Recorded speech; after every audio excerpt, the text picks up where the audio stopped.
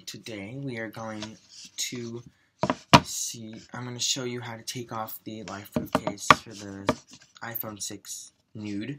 Um, and I didn't doing this because I figured that because for some reason my video for the like the iPhone 5 case, the free, got so popular like, not even, it didn't get me very far in my channel. That's okay, but it, it's still, like,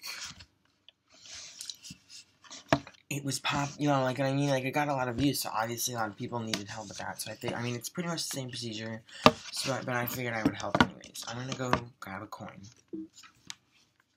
Got it. Okay, so we're back. I got my coin, my cleaning cloth, and phone, obviously. So the first thing I'm gonna do is open up that. Now mine, one thing for LifeProof, if they this video, is don't make this again, because one of them broke off, and I've only had this case for a couple of weeks. Um, but anyway, so you just take the penny and you push, you just put it in the slot and push down on the penny or up, whatever. You're holding it like this, you push it up, but it's it's easier to hold it like this and push down. And then you can continue to use the penny if it doesn't pop up enough. And you just ah, pull it off. Okay, and then you just pop the phone out. Simple, like that. And then, in case you're wondering how to put it back on, you pretty much just do that entire process in reverse, minus the penny. I'm just going to go ahead and clean the phone off again. Clean the case itself. I'm like, it takes me like 20 minutes to put the case, just to put the phone back in the case, because I spend so much time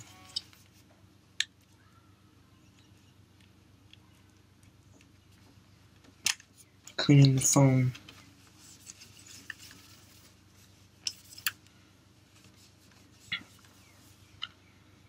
I clean off everything. I clean off the camera, I clean off the Apple symbol, I clean off everything. I just like it to be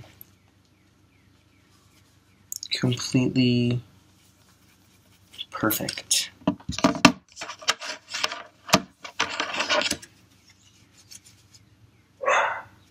My dog is barking to go out. She needs to wait. Sorry, I had this procedure takes me very long. You can fast forward if you like. But then, so then you just put it on.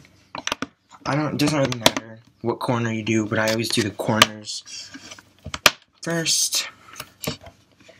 And once you do the corners, you just do the edges.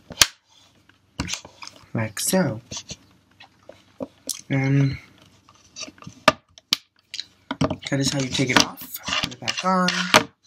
Like I said, you pretty much put it back on. It's like it's like taking it off. You just don't use a penny this piece of gum on this pen. That's disgusting. Um, but uh, that's it. I hope this video was helpful. Don't forget to like it, give it a thumbs up, uh, comment if you have any questions, and subscribe.